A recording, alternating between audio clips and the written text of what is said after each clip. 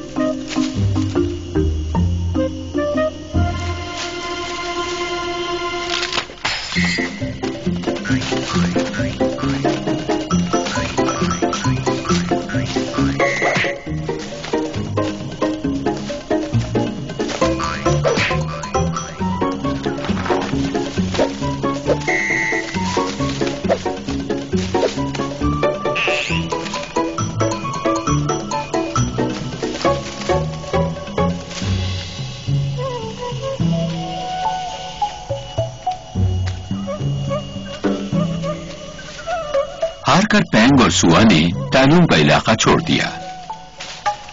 लेकिन जीतकर अब वो कुछ निराश सा लगता है। शायद उसे इस नोकझोंक में मज़ा आने लगा था।